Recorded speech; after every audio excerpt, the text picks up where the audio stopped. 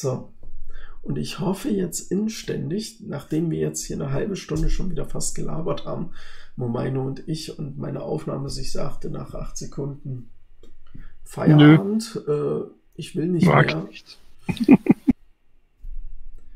Ach, ja, und wir hatten wirklich jedes Spiel des Rückspiels im, im, im spannenden Spielbericht durchgegangen. Und, ach, okay. Ähm, ich kann euch nur eine Wiedergutmachung versprechen, dass wir dann äh, das Halbfinale äh, wieder mit äh, spannendem Spielbericht machen. Mehr kann ich jetzt leider nicht tun. Es hat nach acht Sekunden aufgehört. Ich weiß nicht, warum. Auf der Platte waren 100 Gigabyte frei. Äh, ich habe keine Taste gedrückt. Ich weiß es nicht. Keine Ahnung. Tut mir leid, Leute. Deswegen äh, jetzt hier mehr oder weniger die, die kurze Übersicht, weil die Live-Reaktion wäre jetzt im spannenden Bericht, äh, spannenden Spielbericht nur noch äh, ja, gekünstelt und das macht euch nichts mehr und mir bringt es auch nichts mehr. Ähm, deswegen gehen wir jetzt einfach abwechselnd die Spiele durch. Das erste, dritte ich und das zweite und vierte Mobaino. Äh, deswegen Shark äh, gegen Helltown. Äh, ich mache hier auch nochmal den, den Spielbericht auf, aber den spannenden brauchen wir uns jetzt nicht mehr angucken. War äh, 2 zu 3 für Helltown. Also Helltown war hier in Führung und Shark musste nachlegen und tat es auch. Ähm, das Ganze, wie man hier sieht, mit schnellen zwei Toren in den ersten elf Minuten. Dann kam er hier nochmal ran auf 2-1 und damit, äh, weil in der zweiten Halbzeit außer der gelb-roten Karte nichts mehr lief, meine Aufnahme läuft übrigens noch, äh, ich könnte, könnte mir in den Arsch beißen, äh, musste die Verlängerung her und da hat äh, Shark nochmal Gas gegeben und hat das Ding hier äh, nochmal in den zwei Spielen gedreht und da muss man sagen, Glückwunsch fürs Weiterkommen. Äh, coole Sache. Und äh, ja, mal sehen, wie es im Halbfinale wird. Und damit zum zweiten Spiel, Momeino. Ich mache hier auch daneben den Spielbericht nochmal auf. Moment. Ja, da müsste ich mal dazu sagen, dass ich seit einer halben Stunde keine Bildschirmübertragung mehr von dir habe, aber. Ach so, ach so warte, warte. Ich nehme einfach das zweite Spiel, was bei mir da ist was ich gerade offen habe. Das wäre dann AC Firenze gegen FC Tesch. Natürlich der T FC Tesch so, mit. Jetzt müsstest du wieder Bildschirmübertragung haben. Habe ich wieder da. Ich sehe es trotzdem bei mir schärfer und besser. Ähm, Teschen natürlich unter Zugzwang nach einer 2 zu 0 Niederlage im Hinspiel als Titelanwärter Nummer 1 im italienischen Duell, ein Derby quasi. Geht auch schön mit 1 zu 0 in Führung, aber dann, ja, sagen wir so, Tesch hat zwei Minuten gespielt und ist dann auf Kaffeepause gegangen. Gefühlt, ja. Na, da kamen dann fünf Torschancen von AC Firenze, äh, welche eine genutzt wurde von Franzios Mba. So ein Name. Und ja, damit ist leider unser unser meistgetippter Titelanwärter, ja. raus. Ja, und da kannst du ja gerne nochmal den O-Ton aus dem Discord äh, dazu sagen ja. von Tesh. Ja, Tesh natürlich, erste Reaktion um halb acht. Völlig indisku indiskutable Leistung meiner Mannen, da werde ich wohl Tränen lassen müssen. Vollkommen Der arme Trainer. richtige Einstellung. Ja, auf jeden Fall. Da, da gibt es keine Diskussionen. Er hat fünf Leute einfach nur enttäuscht. Oh, ja. Wir müssen, da müssen Konsequenzen, ja. Ja. Da müssen Köpfe rollen. So, und mein Spiel war halt so, dass es ein 3 zu 3 gab und äh, dieses Spiel, was mir auch dann erst auffiel, dass es unter dem Spielbericht noch einen Spielbericht drucken Link gibt. da werde ich mir das noch ausdrucken quasi und einrahmen oder so. Also sowas da habe ich Rocky auch schon angeschrieben, aber er hat mir bis jetzt nicht geantwortet, wie er diese 93. und 94. Minute erlebt hat. Mal sehen, ob da noch was kommt. Ansonsten, ja, habe ich meine Taktik umgestellt und äh, ja, was soll ich sagen, Leute? Leider, leider hat es nicht funktioniert, hat es nicht sein wollen, obwohl ich ihn in die Verlängerung gezwungen habe. Nachdem er mich hier in der ersten Minute völlig überrascht hat anders kann ich es nie ausdrücken. Also in der ersten Minute, erste Aktion, Bam, Tor. Ähm, aber an sich muss man auch sagen, hier zwei Chancen, zwei Tore und ich habe drei Chancen und mache nur ein Tor. Ja, äh, das bedeutet für meine Mannschaft, äh, ja, da müssen Köpfe fallen.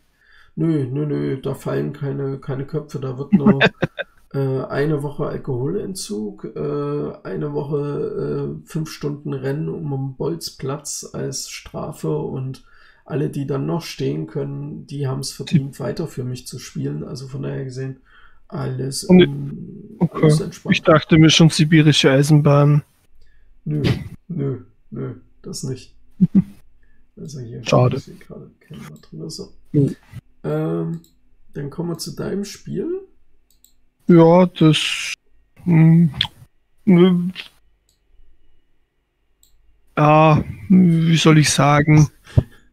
4 zu 0 verloren im Hinspiel, 5 zu 0 in der, im Rückspiel, 9 zu 0 gesamt. Gehen wir weiter. Aber was, das Einzige, was sich positiv gestimmt hat, und das kam natürlich in ja, der ersten Aufnahme viel besser rüber, du hast eine 90-prozentige Auslastung deines Stadions, also das hatten alle anderen Stimmt. nicht. Von daher. Ja, dann da kann man vielleicht noch dazu sagen, 90 Prozent außerdem meine Spieler waren so begeistert, dass das Stadion voll ist, dass sie mit den Fans feiern mussten. Ja. Und da ganz vergessen haben, dass eigentlich noch ein Spiel zu spielen wäre. Ja, das stimmt, das stimmt, ja, richtig. Ach, herrlich, ach, schön. Ja, deswegen kommen wir mal zu, zum Gewinnspiel. Das ist ja noch das andere Thema, aber obwohl äh, erstmal die Halbfinalpaarungen und da ist BSG Hydraulik Notpachim gegen FC Rocky 41. Und Meino, du machst das zweite Spiel. Äh, oh, FC Shark 1977 gegen HC Firenze. Und dabei ist uns auch aufgefallen, dass Rocky gegen Pachim schon mal gegeneinander gespielt haben. In der 193. Saison. In einem Friendly. Ja. Bitte was? Guckt mal in äh, die jetzige Saison 190, also Mal sehen, ob die sich noch kennen. Saison, bitte. Oh, 123 habe ich was anderes gesagt? Ja, 193 habe ich verstanden. Okay, gut, okay. Wir haben ja den Videobeweis. Genau, danke für die Korrektur, falls ich es falsch gesagt habe.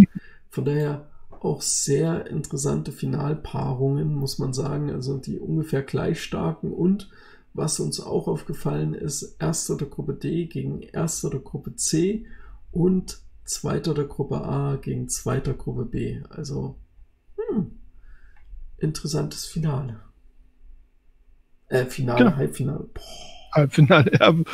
Vier Mannschaften im Finale hm, ist nicht Fußball. Zumindest nicht das Manila-Fußball. okay, gut. Ja, lassen wir das. ja, lassen wir das so stehen. So, kommen wir mal zum Tipp-Gewinnspiel und äh, was mir auch sofort aufgefallen ist, die Gewinner und Finaltipps sind quasi alle komplett rot, nur noch Rocky ist schwarz. Und da muss man ja auch sagen, äh, wir konnten uns jetzt nicht daran erinnern, dass es mal eine Saison gab äh, vom Tippspiel, wo keiner irgendeinen Gewinner oder Finaltipp äh, richtig hatte. Also von daher gesehen wäre das eine Premiere. Also Rocky, tu alles dafür, dass du ins Finale kommst, dann ist alles gut. Ne? Ja, genau. Momaino für dich ja auch, ist es ja auch wichtig, zwecks vielleicht mal erster Platz zu werden, ne? Für mich ist es wichtig, ja, weil ich könnte da eben noch sechs Punkte rausschlagen, die FC Tesch nicht mehr bekommt. Richtig. Und da geht es eben um, die, um den Fun Cup-Sieg. Und Tesch äh, könnte sich ja den zweiten in Folge holen. Das Double ist nun nicht mehr drin. Da hatten wir auch so eine schöne Diskussion gerade. Leider ist diese Aufnahme ja nach acht Sekunden abgebrochen. Ich könnte mir immer noch einen Arsch beißen. Oh, da hätten, hätten wir jetzt. Okay, wir lassen das. Ja, ja kein, kein Salz für Abrisus. Genau, wir gehen das einfach durch, wie eben auch. Äh, sechster Platz FC Bottrop Eigen 1981 mit 40,313 Punkten. Dann fünfter FC Abrisus mit 40,714 Punkte. Dann vierter FC Shark 1977 mit glatt 45 Punkten. Dritter erste United mit 47,77778 Punkten. ich habe die letzte Zahl nicht richtig verstanden. War das auch eine 7? Nö, ich glaube, das war eine 8, aber das ist eben gerundet. Okay. Ich könnte sonst in zwei Stunden noch mit den Siebenen weiterreden. Ja, also wenn ihr die Extended Version wollt, dann äh, von, von diesen Aufzählungen der sieben, dann schreibt es in die Kommentare. Dann muss Mumaino sich nochmal hinsetzen. Ansonsten, äh, wenn wir schon beim Teufel sind, äh, zweiter Platz FC Teufel Mumaino mit äh, 50,323 Punkten.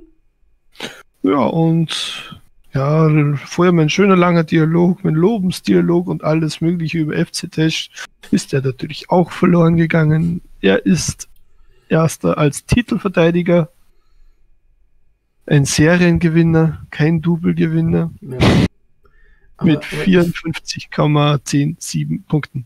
Aber ich finde, er macht das auch sehr geschickt. Das ist mir jetzt erstmal aufgefallen. Vor uns in der Aufnahme noch nicht. Er tippt nur die Spiele wahrscheinlich, wo er sich jetzt so relativ sicher ist. Er hat hier schon bei meinem Spiel nicht getippt, ne? Wo eigentlich ja. die Mehrzahl äh, rot war. Und bei der Rückrunde hat er jetzt auch zwei Spiele nicht getippt und hat das eigentlich strategisch sehr gut getan, weil vor allem mhm, das dritte Spiel haben alle falsch getippt und er nicht. Und somit hat er da ja auch keine Punkte minus gemacht. Also das ist ja ein Durchschnittspunktewert hier. Und je ja. weniger man tippt und je mehr man von den wenigen richtig hat, desto höher ist natürlich der Durchschnitt. Also er macht es eigentlich richtig gut, muss man so sagen.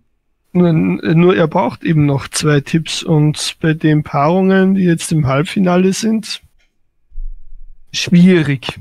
Ja gut. Ne, ähm, ich brauche keine Tipps mehr eigentlich. Ich habe nee. meine 31. Aber, Aber was du noch mal erklären könntest, wären deine minus 0,5 Punkte. Nee, wollte ich gerade. Okay. Das resultiert daraus, dass ich eine Verlängerung getippt habe auf Firenze gegen Tesch. Es hat zwar zwei Verlängerungen gegeben, wie wir gesehen haben, aber nicht dieses Spiel. Tja. Ich hatte die falschen 50 Prozent. Und äh, was wir auch noch äh, festgestellt haben, du hattest ja gesagt, FC Shark hatte im Discord geschrieben, warum er hier als ausgeschieden zählt in der linken Tabelle, obwohl er ja eigentlich noch dabei ist. Und äh, das äh, könntest du noch mal kurz erklären.